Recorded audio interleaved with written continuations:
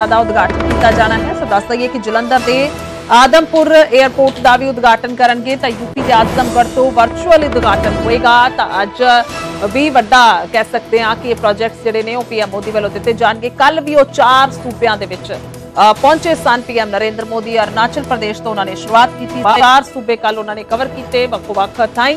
ਔਰ ਅੱਜ ਵੀ ਦੱਸ ਦਈਏ ਕਿ 850 ਫੋਨ ਲਾਈਨ ਤੇ ਰਾਘਵ, ਇਹ ਵੀ ਬੇਹੱਦ ਅਹਿਮ ਹੈ ਕਿ ਆਦਮਪੁਰ 에ਅਰਪੋਰਟ ਦਾ ਅੱਜ ਉਦਘਾਟਨ ਕੀਤਾ ਜਾਣਾ ਹੈ। ਔਰ ਵਿਧਾਨ ਸਭਾ ਦੇ ਵਿੱਚ ਵੀ ਜਦੋਂ ਇਹ ਮੰਗ ਉੱਠੀ ਹੋਵੇ ਕਿ ਰਵਿਦਾਸ ਜੀ ਦੇ ਨਾਂ ਤੇ ਆਦਮਪੁਰ ਦਾ ਨਾਂ ਹੋਣਾ ਚਾਹੀਦਾ ਹੈ, ਤਾਂ ਕਿ ਕੁਝ ਜਾਣਕਾਰੀ ਹੈ?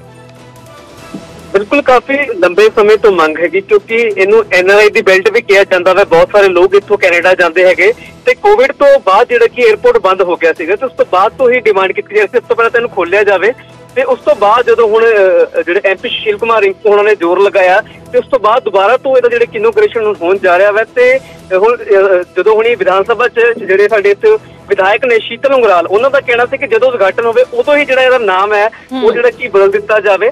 ਤੇ ਇਹਦੀ ਮੰਗ ਜਿਹੜੀ ਕਿ ਲੰਬੇ ਸਮੇਂ ਤੋਂ ਉੱਠਦੀ ਪਈ ਸੀ ਕਿ ਗੁਰੂ ਰਵਿਦਾਸ ਜੀ ਮਹਾਰਾਜ ਜੀ ਦੇ ਨਾਮ ਤੇ ਜਿਹੜਾ ਕਿ ਨਾਮ ਰੱਖਿਆ ਜਾਵੇ ਤੇ ਹੁਣ ਵੇਖਣਾ ਹੋਊਗਾ ਕਿ ਕੇਂਦਰ ਇਸ ਚੀਜ਼ ਨੂੰ ਕਿਸ ਤਰ੍ਹਾਂ ਲੈਂਦਾ ਪਰ ਮੈਂ ਕਹਿ ਸਕਦਾ ਇੱਕ ਖੁਸ਼ਖਬਰੀ ਹੈਗੀ ਹੈ ਦੁਆਬਾ ਦੇ ਲੋਕਾਂ ਵਾਸਤੇ ਕਿਉਂਕਿ ਬਹੁਤ ਸਾਰੇ ਲੋਕਾਂ ਨੂੰ ਜਿਹੜੇ ਅੰਮ੍ਰਿਤਸਰ ਜਾਣਾ ਪੈਂਦਾ ਸੀ ਜਾਂ ਫਿਰ ਦਿੱਲੀ ਵੱਲ ਨੂੰ ਜਾਂ ਚੰਡੀਗੜ੍ਹ ਜਾਣਾ ਪੈਂਦਾ ਸੀਗਾ ਲੇਕਿਨ ਹੁਣ ਉਹਨਾਂ ਨੂੰ ਸਿੱਧਾ ਜਿਹੜਾ ਕਿ ਇੱਥੋਂ ਆਦਮਪੁਰ ਤੋਂ ਜਿਹੜੀ ਕਿ ਫਲਾਈਟ ਮਿਲ ਜੂਗੀ ਜੀ ਬਿਲਕੁਲ ਬਹੁਤ ਬਹੁਤ ਸ਼ੁਕਰੀਆ ਰਾਘਵ तमाम ਜਾਣਕਾਰੀ ਲਈ ਤਾਂ ਸ਼ੀਤਲ ਅੰਗੁਰਾਲ ਦੇ ਵੱਲੋਂ ਇਹ ਮੰਗ ਉੱਠ ਚੁੱਕੀ ਗਈ ਸੀ ਔਰ ਵੇਖਣਾ ਹੋਏਗਾ ਕਿ ਇਸ ਮੰਗ ਦਾ ਕਿੰਨਾ ਕੁ ਅਸਰ ਅ, ਨਜ਼ਰ ਆਉਂਦਾ ਹੈ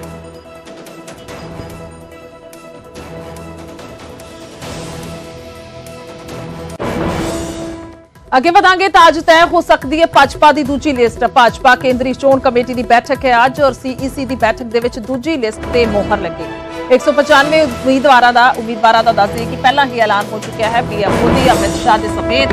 195 ਉਮੀਦਵਾਰਾਂ ਦਾ ਐਲਾਨ ਹੋ ਚੁੱਕਿਆ ਹੈ ਔਰ ਪੀਐਮ ਮੋਦੀ ਦਾ ਜ਼ਿਕਰ ਕੀਤਾ ਜਾਏ ਤਾਂ ਵਾਰਾਣਸੀ ਤੋਂ ਹੀ ਉਹ ਚੋਣ ਲੜ ਰਹੇ ਨੇ।